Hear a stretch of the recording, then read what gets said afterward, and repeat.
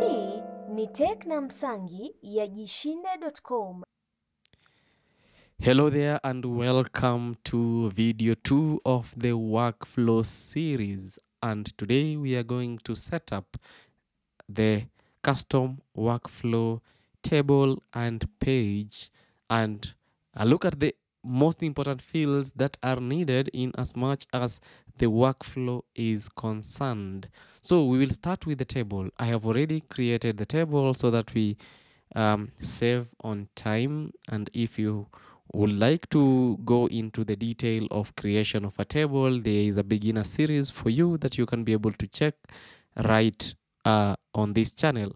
So the first step is to create your own table that will be um, your custom table. Of course, you could be having it already, but if you are you don't have the table, then create your table with the detail that uh, of the data that needs to be approved. For this for uh, for this demonstration, I've created the simplest table with only the number field that has got a trigger for the number series so it will be populated automatically from the number series series which has extended the purchases and payable setup table to add the workflow header numbers. So the name of my table is custom workflow header just to make sure that we are focused on the workflow only.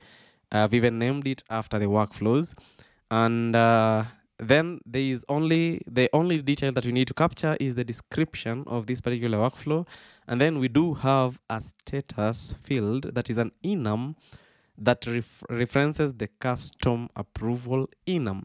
And this is also so important. And then, and then uh, when you look at this custom approval enum you do have it being extensible. We can say it's false because most of the time we don't need to change these options. And it's always mostly open pending approved and rejected unless you do have another option maybe in between the rejected or maybe you could have a posted option. Uh, some people refer uh, prefer to use the approval as that but the standard is having these four because the when you open when you create a document by default it's open. When you send for approval it's pending. When it's approved it's approved if you cancel for approval during pending you take it back to open. And uh, when it's rejected then the status goes to rejected. So these are on the only uh, standard options and you can reuse this enum in many other tables. So this is our custom approval enum. Then here we do have now uh, the number series table uh, field which is just basically for helping us being able to create the number series. So this i'll share the code for this table so or don't worry or for this the code of this workflow series so don't worry about anything.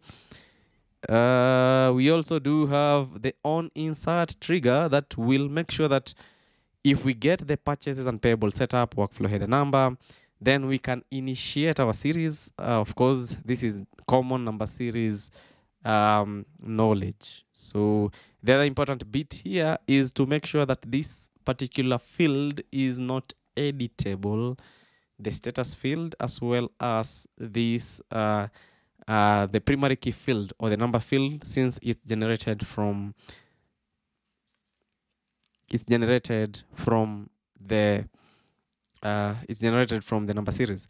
So once you have done your table right, what's most important if you already have a table is to add this identification way of a status. If the you do have a field existing known as the status, you can call it approval status. No harm in that as long as it is understandable. And of course, when you have a table, you should also have a page to mirror that particular table that you have created or to show the detail. And the most important here that I've seen for the list page is the number, description, and the status. And uh, here we also do have now the card page, which is also the same name as the uh, table name, which is the custom workflow header card. And then the card page does have the number, description, and the status because we we need to know the status of this particular approval. And then now here in the card page is where I've added the relevant actions that will help us in approval.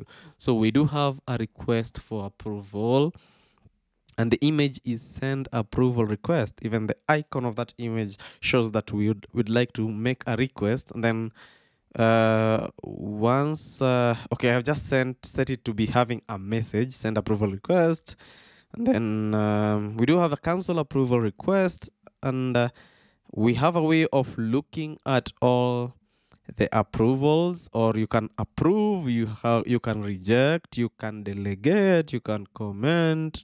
Uh, the only thing that is missing here is a way of looking at the approvals. So let me just add it here at the end.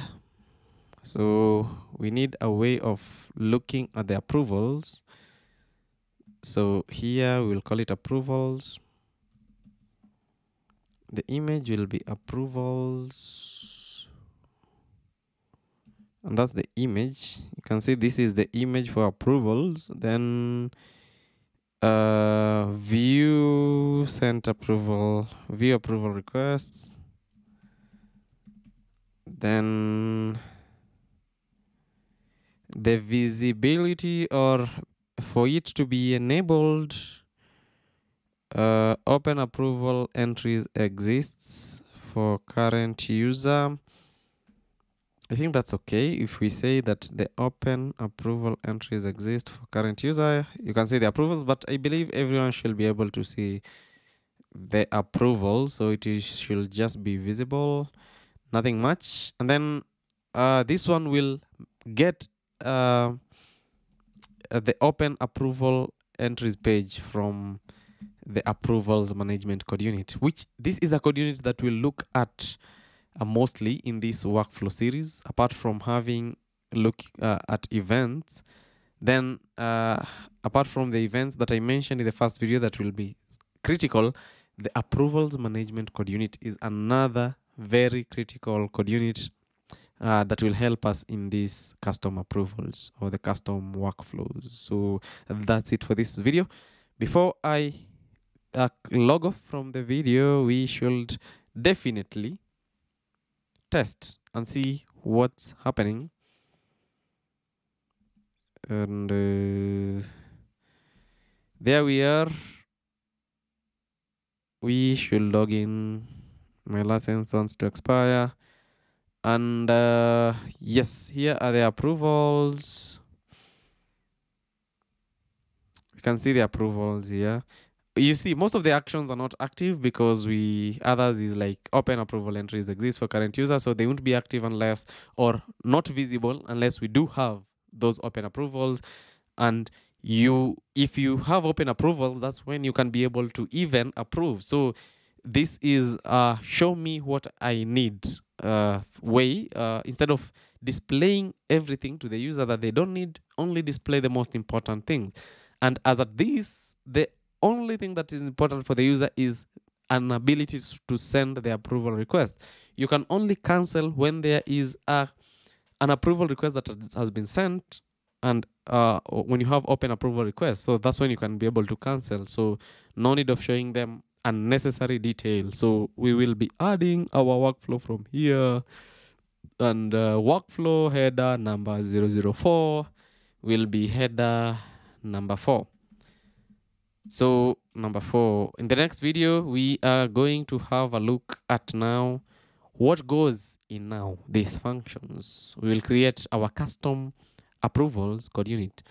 So just check out for this um, the code that has been created in this page and reach this point where you have your table setup and the page setup as you await the next video so i will see you in the next video If you enjoyed this video, make sure to like, subscribe, and ring the notification bell so that you don't miss the next one.